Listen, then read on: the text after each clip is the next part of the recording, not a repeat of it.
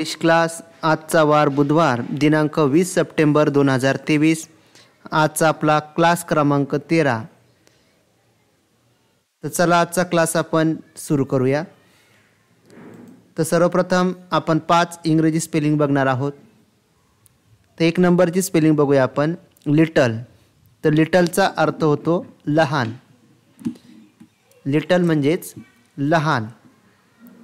आजच्या तारीख आणि वारसह या संपूर्ण स्पेलिंग आपल्याला लिहून घ्यायचे आहे.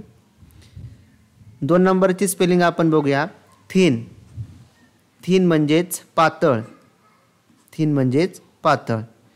त्यानंतर स्पेलिंग क्रमांक तीन आहे होल होल म्हणजेच संपूर्ण. होल म्हणजेच संपूर्ण. त्यानंतर स्पेलिंग क्रमांक चार आहे आपली वन्स वन्स म्हणजे एकदा.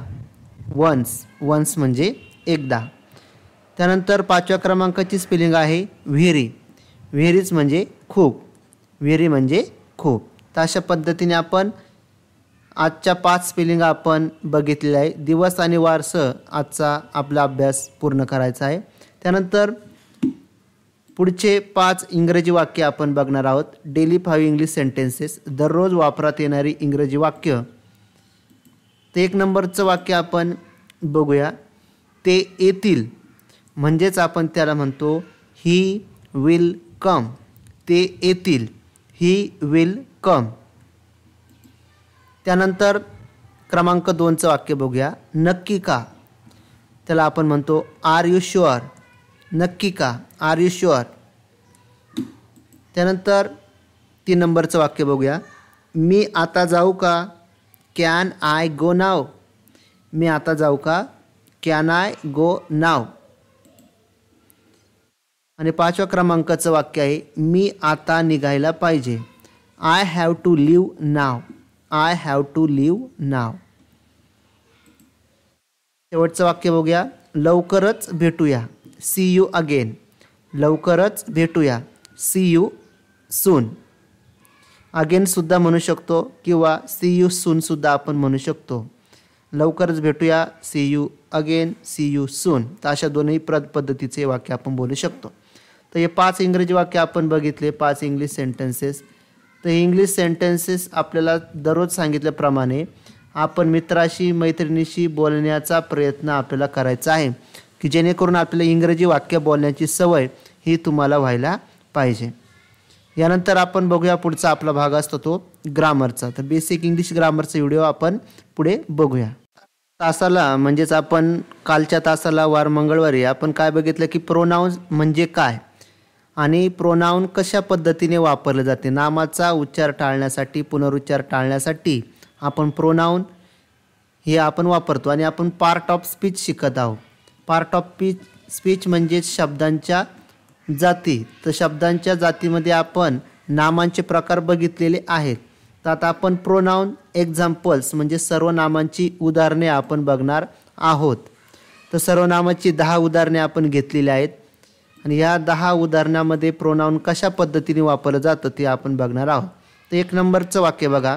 I take the trash out तर हा आय आय हा कोणाबद्दल आला आहे तर स्वतःविषयी आलेलं बघा. म्हणजे आपलं आपण नाव घेतलं की तर नाही. म्हणजेच मी. हे प्रोनाऊन म्हणजे सर्वनाम इथं आलेले आहे. की नामाबद्दल माझ्याबद्दल माझं नाव न वापरता मी आय घेतलेलं आहे बघा. म्हणजे मी I take the trash out म्हणजेच मी कचरा बाहेर काढतो. ट्रॅश म्हणजे कचरा. तर मी कचरा बाहेर काढतो. तर या वाक्यामध्ये आय तर हे काय आहे? प्रोनाऊन आहे. प्रोनाऊन्स म्हणजेच काय? सर्वनाम आहे. तर हे सर्वनाम आहे. आता येणारी दहा वाक्यसुद्धा आपल्याला बघायची आहेत. तर आपल्याला संपूर्ण क्लिअर होणारच आहे बघा. दोन नंबरचं वाक्य बघूया. You will come with me आता बघा यू म्हणजे तू मी म्हणजे माझ्यासोबत किंवा तर बघा तू माझ्या बरोबर येशील. त्याच्यामध्ये बघा यू आता म्हणजे समोरच्याचं नाव घेतलं आहे का आपण इथे? नाही. मोहन किंवा रमेश किंवा सुरेश असं नाव घेतलेलं नाही. आपण म्हटलेलं you will come with me म्हणजेच तू माझ्याबरोबर येशील. तर यू आणि मी हे सुद्धा आपलं प्रोनाऊन आहे. त्यानंतर तीन नंबरचं वाक्य आपण बघूया. ही स्टडीज एव्हरी नाईट तो रोज रात्री अभ्यास करतो. कोण? तो. त्याचं नाव घेतलं आहे का आपण नाही? म्हणजे नामाचा उच्चार पुनरुच्चार टाळण्यासाठी आपण तो घेतले बघा वाक्यामध्ये. तर तो म्हणजेच ही हे सुद्धा या वाक्यामधील प्रोनाऊन आहे. ही स्टडीज एव्हरी नाईट तो रोज रात्री अभ्यास करतो. त्यानंतर चार नंबरचं वाक्य आपण बघूया. She can't cook for you ती तुमच्यासाठी स्वयंपाक करू शकत नाही. शी म्हणजे ती. तिचं नाव घेतलं आहे का आपण नाही तर शी. हे सुद्धा इथे प्रोनाऊन वापरले आणि यू यू म्हणजे तुमच्यासाठी किंवा तुझ्यासाठी. तर हे सुद्धा काय आपले प्रोनाऊन आहे. इथे नामाचा आपण उपयोग केलेला नाही. तर नामाच्या ऐवजी कशाचा उपयोग केला आहे? आपल्याला प्रोनाऊनचा उपयोग केलेला आहे. तर नाम घेतलेलं नाही आहे आपण इथे.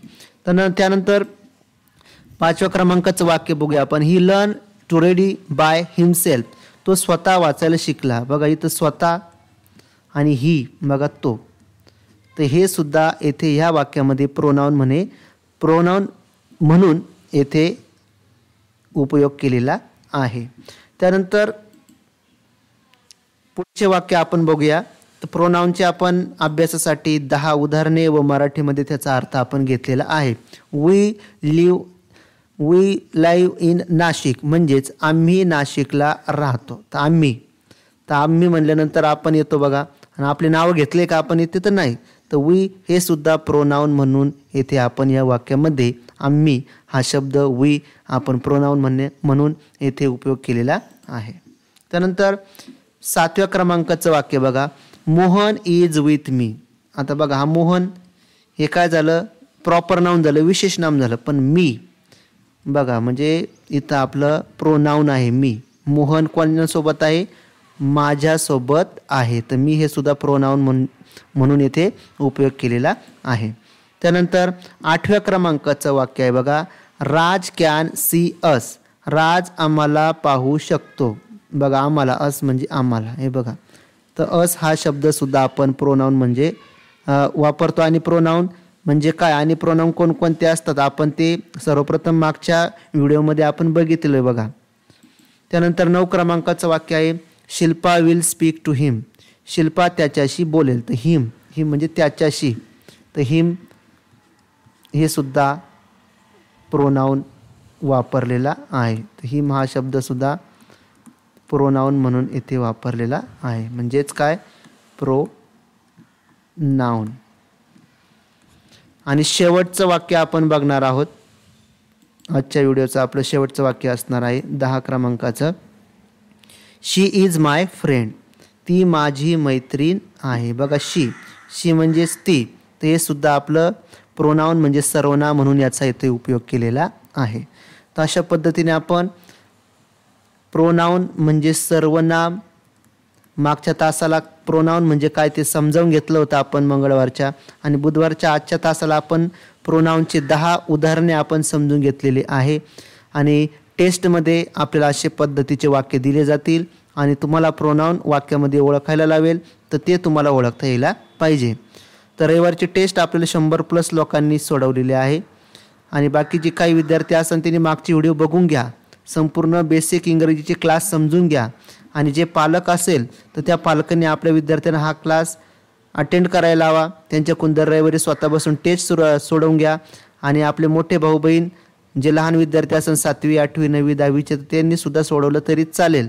आणि ही टेस्ट सोडवून आपण संपूर्ण झालेल्या दिवसांचा अभ्यास करून टेस्ट सोडवतो म्हणजे आपलं ते लक्षात राहण्यासाठी आणि इंग्रजी शिकण्यासाठी अत्यंत चांगल्या पद्धतीचा फायदा आपल्याला याद्वारे होत आहे. तर जे बाहेरचे विद्यार्थी नवीन जोडत आहेत त्यांच्यासाठी पुन्हा एकदा मी नंबर देतो. त्र्याण्णव झिरो सात झिरो आठ एक्केचाळीस अठ्ठावन्न. या नंबरवरती तुम्ही तुम तुमचा झालेला अभ्यास मला पाठवू शकता. आणि दररोज आपण दर रविवारी टेस्ट घेत असतो. तर झालेल्या अभ्यासावरतीच आपण टेस्ट घेत असतो. तर झालेला अभ्यास संपूर्ण वाचायचा आहे. जेणेकरून आपली रिव्हिजन ही दर रविवारी मी पूर्ण झालेल्या अभ्यासाची रिव्हिजन करतो. आणि ती रिव्हिजन करून तुम्ही टेस्ट सोडवता म्हणजे झालेला भाग पुन्हा तुम्हाला आठवावा लागतो. आणि त्याची प्रॅक्टिस होण्यास मदत होत असते. तर संपूर्ण विद्यार्थ्यांनी बारा दिवसामध्ये कमीत कमी भरपूर लिखाण काम त्यांनी त्यांचं पूर्ण केलेलं आहे. एखाद्या तासामध्ये मी तुम्हाला दाखवणार आहे एखाद्या व्हिडिओमध्ये की कोणत्या विद्यार्थ्यांनी कशा पद्धतीचे क्लासचं लेखन केलेलं आहे तर ते तुम्हाला मी दाखवणारच आहे. तर ठीक आहे विद्यार्थी मित्रांनो तर आपण भेटूया उद्या पार्ट ऑफ स्पीच शब्दांच्या जातीमध्ये पुढचा प्रकार आपण बघूया. झालेला अभ्यास पूर्ण करा. धन्यवाद.